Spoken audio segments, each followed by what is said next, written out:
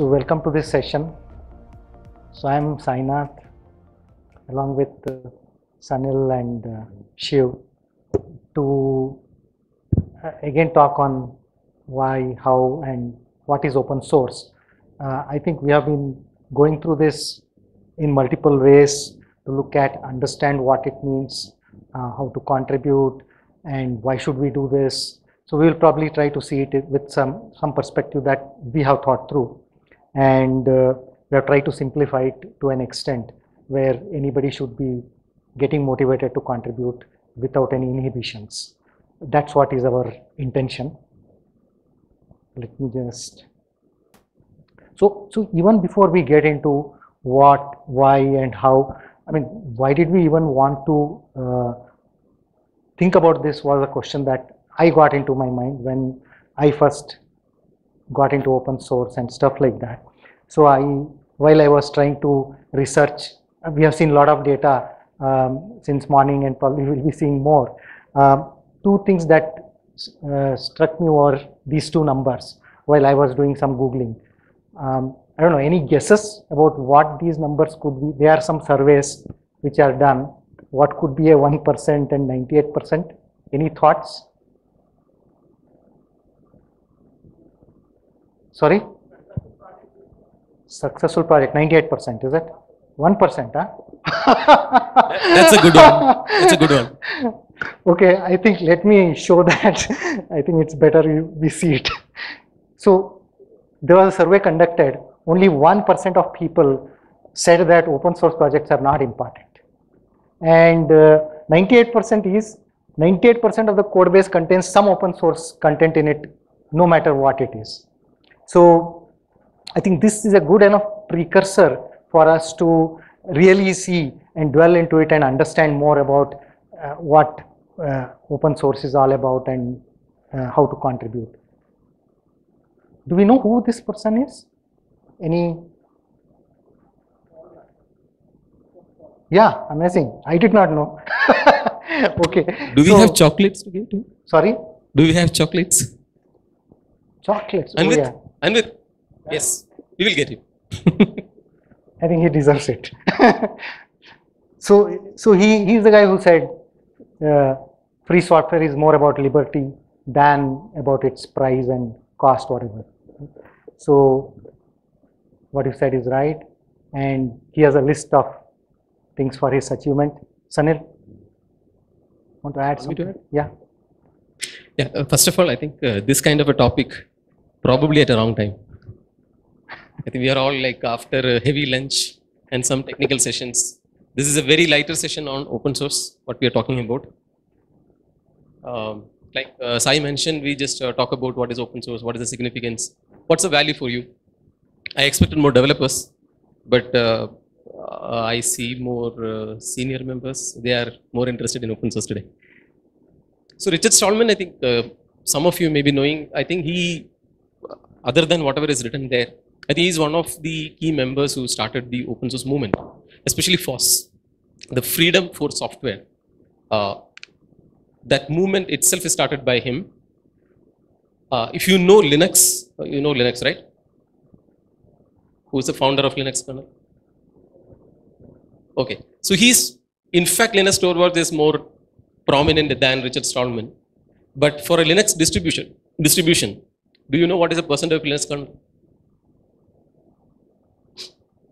The majority of the Linux distribution as a whole distribution, most of the components are coming from GNU. The compilers, libraries, and so on and so forth.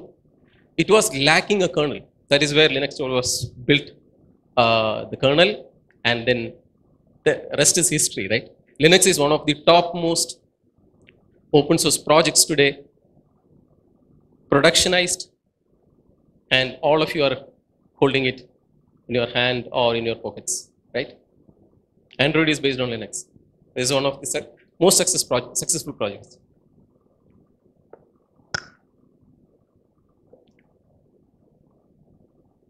Okay, I don't know whether this question is how much significant in this crowd. Uh, in the, I mean, outside we had been, uh, we have been talking about, uh, talking with some of the students. Uh, we thought more students and developers uh, many of you are already having a job. But more than job, maybe we can replace this with can we create more industry credibility or can I build more competency? So maybe that way we can change. We'll see in the session. Yeah. Thanks, Sanil. So first we'll go with the what part. Uh, then I, I'll probably set the stage to some extent so that we can cover the why and how after that. Uh, so fundamentally, uh, uh, when I first thought about open source, I thought, what's the big deal? So I know about everything about it and what is so great about what. But as I started researching on it and understanding more about it, trying to understand how do we qualify it, what it means, uh, I then saw that it might be easier to understand it by knowing what it is not. And uh, that's where I thought I'll start with uh, the closed software, uh, where it's the proprietary part where uh, most companies have been doing it for a long time. And we are all well aware of it as to how that ecosystem works and what kind of a um, control we have on anything that is getting delivered to us. So that way, this is the this is our traditional model that always people have followed. Though open source also is in, existence for a long time, uh, I I felt knowing this the way it works is probably a better way to know uh, what open source could be, where we have uh, the same kind of a setup, probably a community, uh, maybe an organization, everything is there, but then what we develop is finally open and available to us, the source code.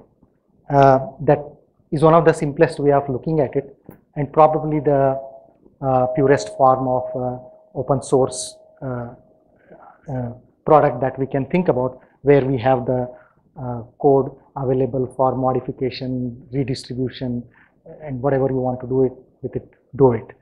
Um, and it's it's publicly accessible. Yeah, I mean there are a lot of nuances to this. Uh, in a simple way, we have put this as a as a basic understanding that we can have about uh, uh, an open source, what what it is in its simplest simplest form. Um, some more thoughts on uh, basically again, if we are trying to, I think even the earlier presenter was telling about it, uh, let's not associate it with its cost, it being uh, free of uh, money or uh, the other usage rights and stuff like that. So there could be a lot of variations in that.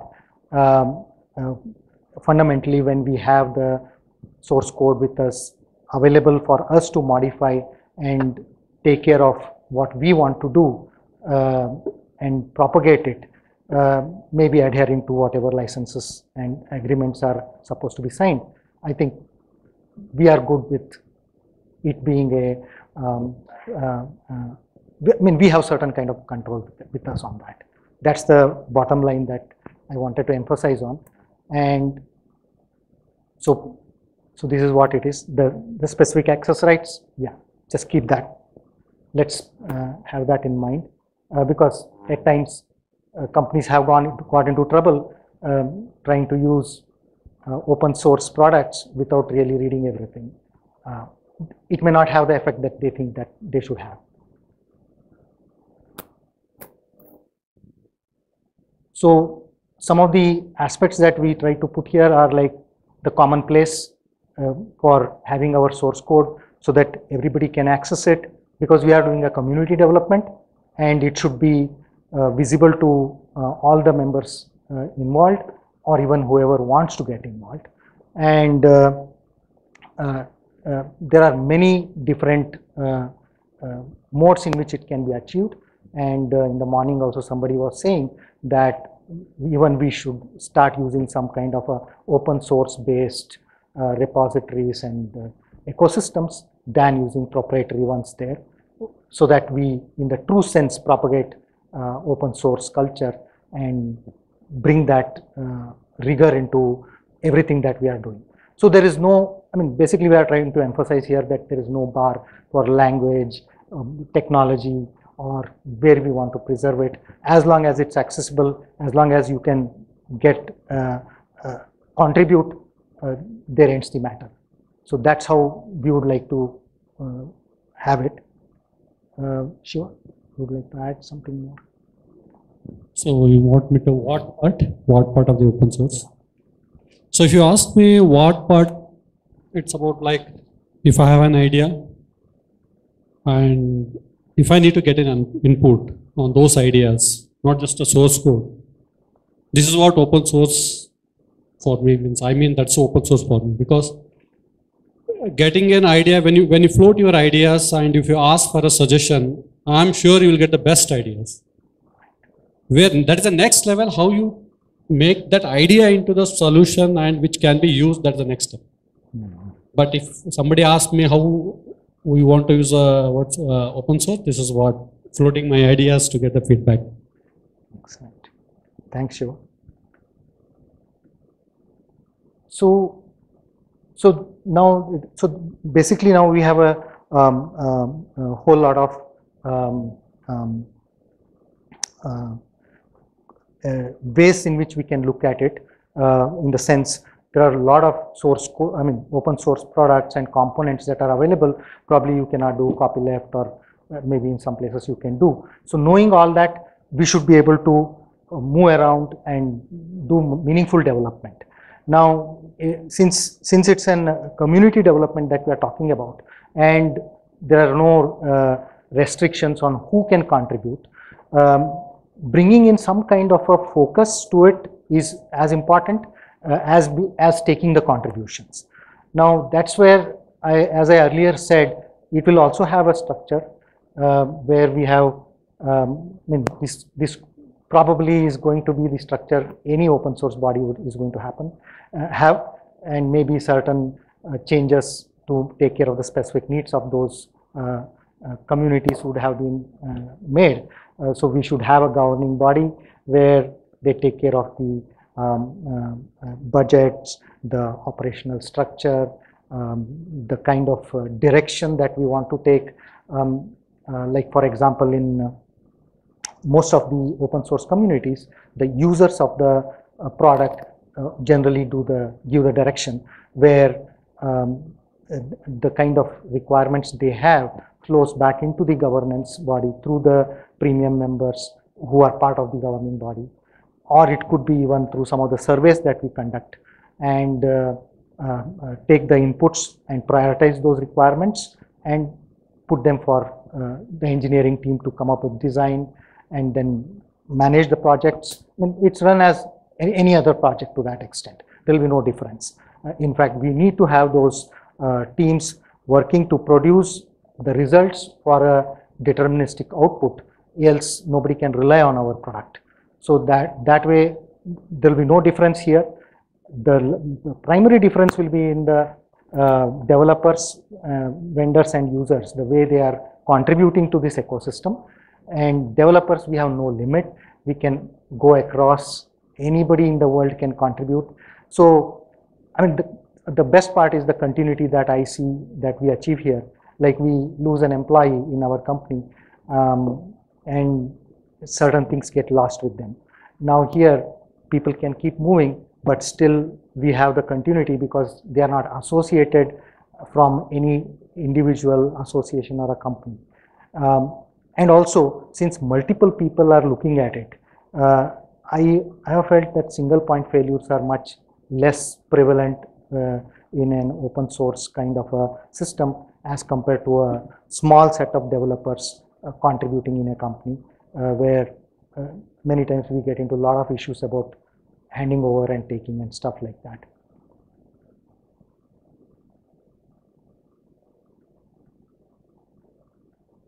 Yeah, that's what I think is the summary there. Um, so these are some of the sample open source projects that we have listed.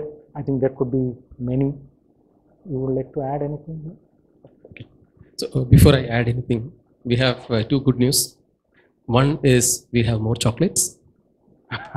Second uh, is uh, we have a very simple method for you to join an open source community at the end of this end of our, our session. Very very simple stuff to associate with and connect with, uh, collaborate with. Uh, Sai was uh, talking about uh, the governance structure. It is no uh, different from any other organization structure. Your company, your college, or institutions, you will have some people to govern, some people to do all the engineering stuff, and of course, you will have a community to operate on, collaborate on. It's it's similar, but if you see all the open source project, these components can be thin or thick. The governance can be very thin. Only one maintainer, he's the developer, uh, he's the reviewer, uh, he's everything. Probably he only brands, hey, this is my project, you can use for this, everything, right? So the governance, engineering, and community is one person. It's like a startup, right? You do receptionist job to CTO to CA job. So similarly, in open source also, this can be there. But what we are trying to bring is that when you go out to see an open source project, you will see GitHub. Now somebody will ask you, uh, GitHub, how do you work in GitHub or things like that. This is this aspect is a technical aspect. You can learn GitHub or Gitee or GitLab in maybe one hour going through a document. But why that is there is more important. Because any open source project you see, we need to have a common place to have the code. We need to have some developers to develop. We need to have a community to talk about, right? Or use it. That's what we are trying to bring it here, that you need to have a governance that so that you think about what is the purpose of this project and who will be benefited out of this. And second is engineering. Yeah, of course. Without developers, yeah, there is no open, source project. And community generally, there are community contributors on uh, evangelizing the project or branding the project, and also users. Users are very, very important because unless you have a open source project user, the project will not be successful. Right? Yes or no? You are here. You are with us. Okay. Tea time is over. I think tea break you had, right? okay. Oh, you can go to the next slide. So these project examples are just uh, GitHub projects which we have uh, put here. There are so many projects. The previous session, SigNoz was another project. So uh, whatever we have shown is in GitHub, but if you go uh, out in the open source, you will see Gitee, GitLab, and stuff like that. So some some key terms to uh, understand. So we have this open source, free software, freeware. So this is where so freeware. Uh, basically, people give free uh, software for use. So you don't get the source code there. You cannot modify that product, or you don't have any say on that as to what has to happen and stuff like that. So, but that's not the case with free software or open source, where we get the uh, uh, source code of the product and we can do certain uh, value additions that we think are uh, appropriate for that. So the other part of this, uh, um, the organization says that, Sai, just Yeah. interrupt. Yeah, yeah. Can you go to the previous slide? So this, uh, I don't know. I mean, almost all of you might have seen open source free software and freeware. Can anyone tell what is the difference between freeware and free software? It's an open open book question. software freedom is like uh, you are free to choose any software you want to use and freeware is like uh, software that is free of cost it's not paid maybe that kind of thing Freeware is kind of free of cost yes because it is there. On the site. okay. So free software. When you say free software, what are the freedoms you? software means you can use any software you want you are not restricted to But that nobody can stop you, right? yeah You decide what software you want to use. Nobody can stop that. I think someone here mentioned about it, the freedoms of free software. Yes, I think he deserves a chocolate. Not only chocolate, I think you can clap your hands. You're free, right? Your hands are free. Okay, I'm just trying to make more interactive because all of us are little down because after the lunch and all the talks through the day. It's very heavy, right? And one day conference is little heavy. Okay, so one key point here is that open source and free software go hand in hand in general.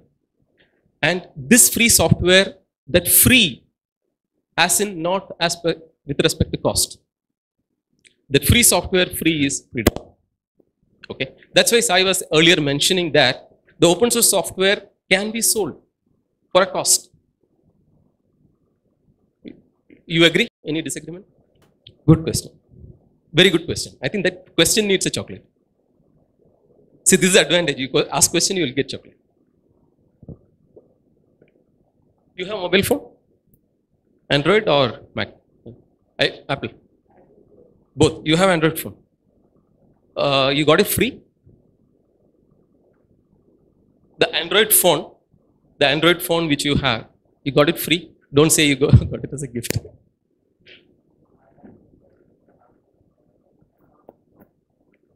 Right. See, basically what happens is that when you get a product out of open source, it can be directly an open source, just a vanilla piece, or it can be added something on top of it.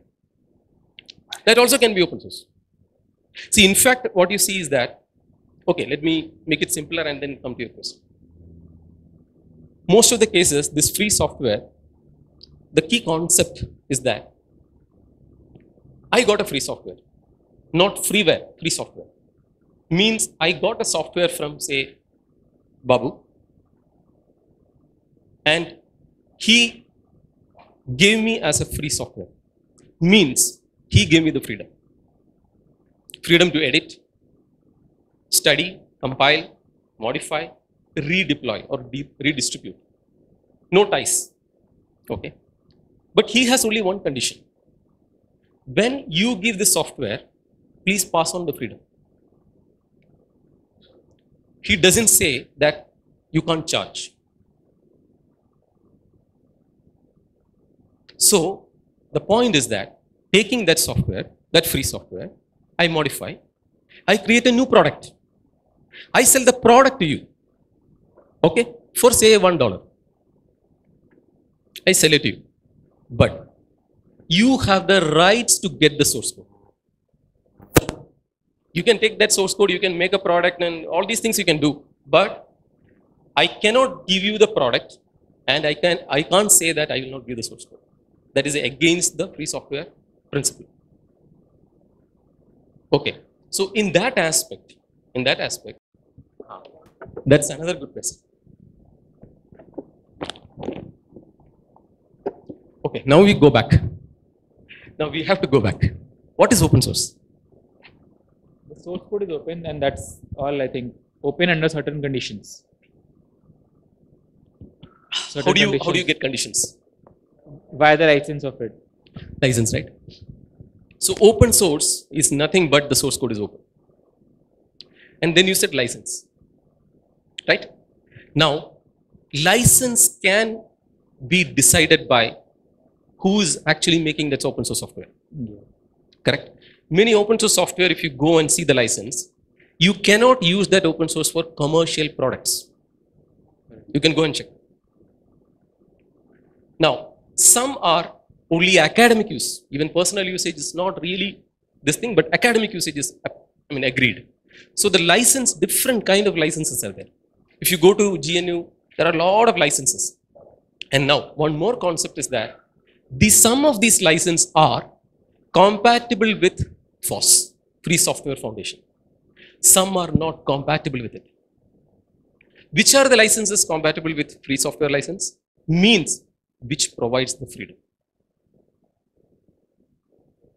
Okay. So now what happens is that when you say software is free software, it always comes with freedom. Whatever license you put, any license you put on top of the freedom, it is a violation. One question. Please.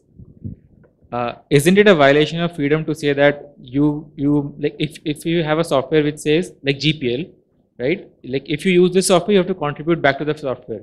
Isn't that a violation of Okay. the so- freedom to sell a product that you make by using that software? Okay, I, one point I want to clarify in that, uh, because that is a very important point with respect to an open source concept, but you repeat the question once again. Okay.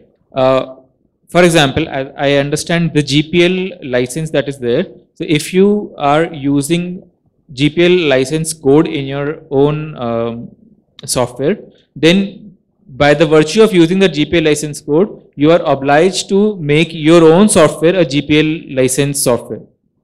So in that sense, this is not free in the freedom sense because yeah, it, you're you're restricting the uh, user of the your software by saying that you have to yourself become a free software. Okay.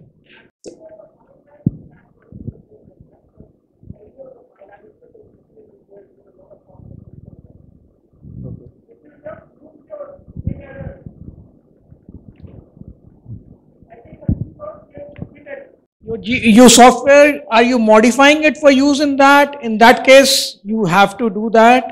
But in case you are just using it as a basis, then it's not, it may not be necessary for you to give away your code. So there are various nuances to this thing and best is ask a lawyer before you commit to anything. And Harald Welte has had a lot of uh, run-ins with uh, GPL enforcing and things like that and those I think are case studies that one should look at. Uh, Thanks, Sachin, uh, partially answering that. Uh, so I'll come back to one myth, generally what we have. In between, he just tried to mention, most of us may have that concept. Open source, you take a open source, you modify, then the modification should be given to the public. Again, back. This is not right.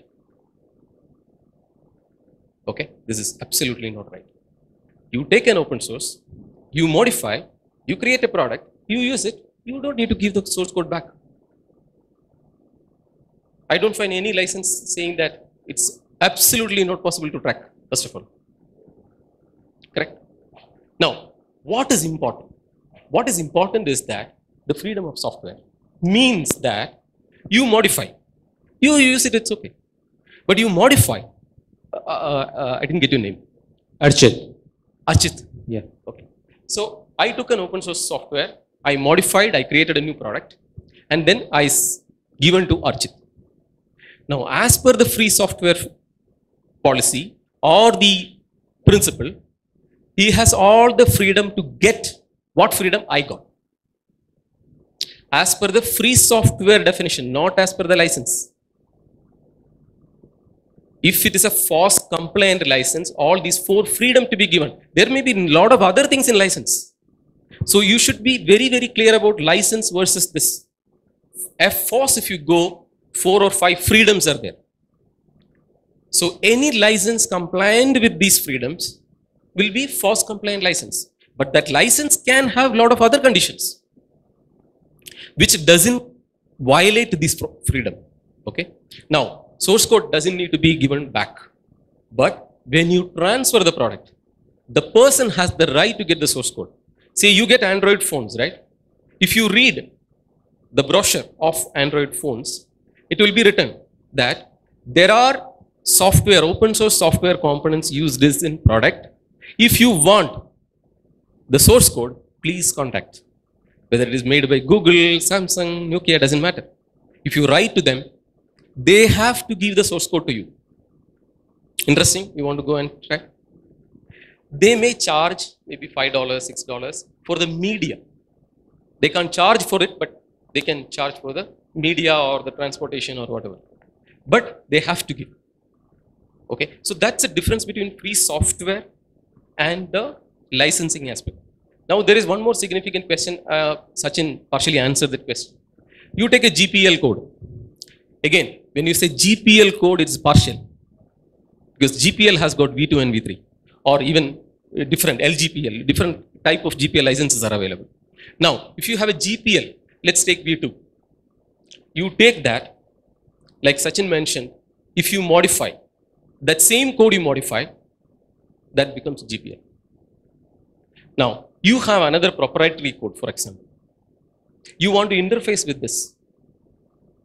If you are using a direct interface, your proprietary code will become GPL. That's why many of the corporate organizations are hesitant to use more GPL code. That is one of the reasons Apache V2 license is very, very popular. Because Apache can be mixed with the proprietary code. You can do commercial deployments easily. That's why it, it has become very popular, especially among corporates. But Linux, if you see Linux, there's a beautiful trick there. Linux kernel is GPL. You know that? Linux kernel is GPL. Now, whatever applications run on the Linux box, say for example, you get Ubuntu, right? Ubuntu is free, open source, all these things you say. But the applications run on Ubuntu, do you get source code for all the applications? All the applications on top of Ubuntu doesn't need to be open source. Then what is the trick? Trick is that the libraries on the Linux kernel, the GNU libraries, are written in LGPL license. Okay? So, one side is GPL, it's a kernel, right? You need to go. The other side is LGPL. The other side can be proprietary. So, proprietary can go through LGPL to GPL. It's not as direct as this, but this is the way it is happen in Linux. So, Linux box, when you get Ubuntu, kernel is open source. You can get the source code, but all the applications you cannot get the source code. Ah, that's a good question. Open source? No, no, no. I want to give another. Foundation. all the Soda Foundation projects are open source. Okay, Kubernetes is open source. Prometheus, Core DNS, SigNoz, all are open source. Now, free software, most of the compliant licenses, the FOSS, whatever freedoms are given, right? All are compatible. Even Apache is compatible with FOSS. So, in that way, SODA Foundation project, most of the prominent projects are under FOSS compliant license. Linux is a very good example because most of the Linux comp- uh, components are GPL or LGPL. Uh, license list, if you see, there are so many number of uh, compliant licenses. Freeware, WinZip, WinRAR, many of them. Right? So this is just giving us an architecture of, there are many projects. Um, so now that they have been organized in such a way that we have a foundation and sub foundations and under that projects. So this is an extension to the governance that we spoke about. Otherwise it will become unmanageable. So that is just to give a high level view about how we are structured. For example, in case of Soda Foundation, we are under Linux Foundation. We are a sub foundation there and uh, uh, similar to CNCF. So, so that's what what is about. And these are all the projects that are there, and they can be part of any sub foundation or a foundation itself. Okay, some I think you already spoke about one or two myths. Maybe we can check for more. Open pro- open source project means Linux. Myth, yeah, yeah. Myth or a fact? Myth, I think chocolate has to be given then. True, you are right. That guy is not there. Okay. See. Next one. Open source is free. I think we discussed this. Yeah. I think one more chocolate. Who, who said that? You are supposed to get two, is it? Which is the other one?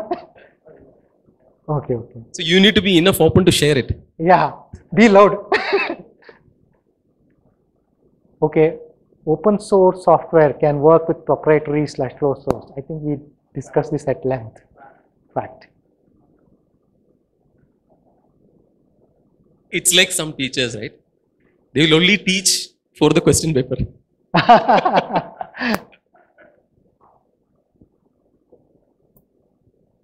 Linux Foundation is for Linux only. Yeah, just now I said no, Soda Foundation is only. Correct. So open source is developed by students or developers in part-time only. Correct. Yeah, I, I don't know who- who is supposed to be given chocolate, okay? Be louder, guys.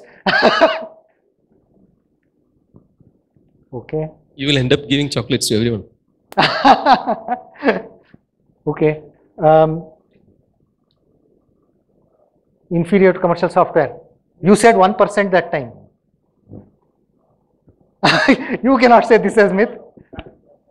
This is fact. myth, right? Is it a myth or a fact?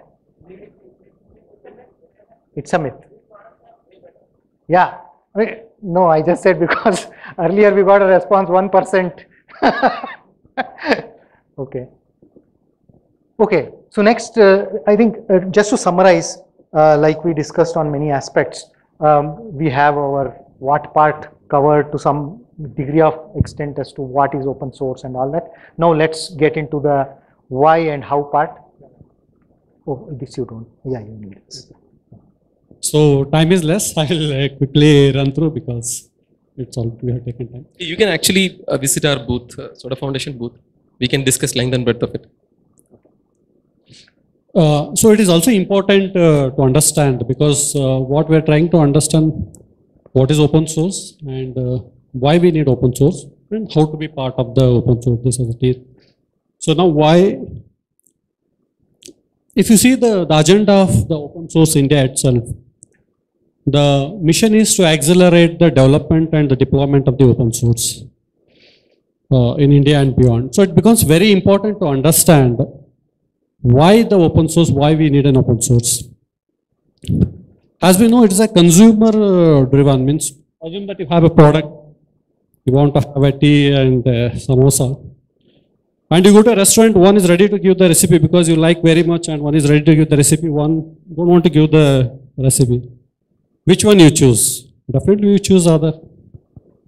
Because it's a consumer driven, definitely he will trust more on the product which has a detail enough him to understand how the solution has been prepared or to change the flavor of the software as well. So the open source, why it becomes very important?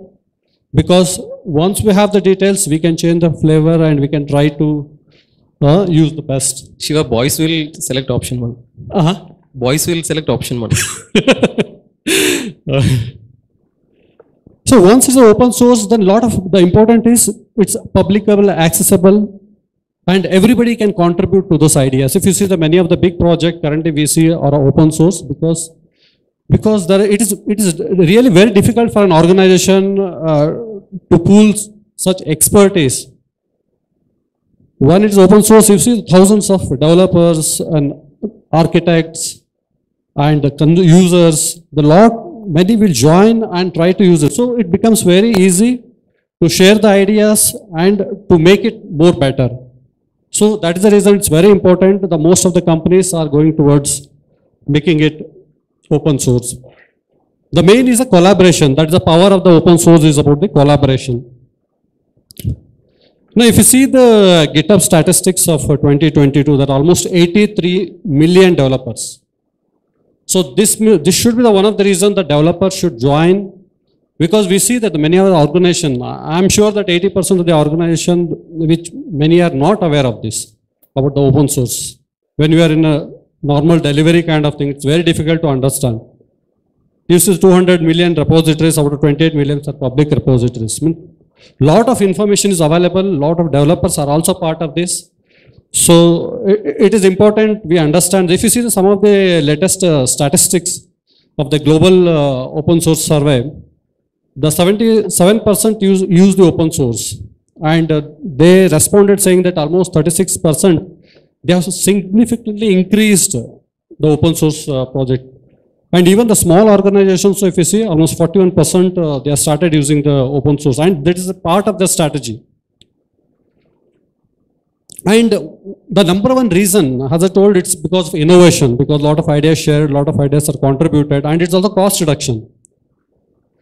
And one of the barrier is lack, lack of the internal skills. This, this gives the best opportunities or many opportunities for the developers who are willing to join to the open source because this is a current barrier where there, a lot of, there is lack of expertise in this area.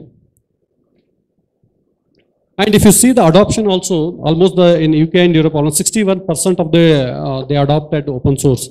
And even an average, it's almost 43 and contribution, Asia is the highest contributor. Almost 45% uh, they, they contribute to the open source.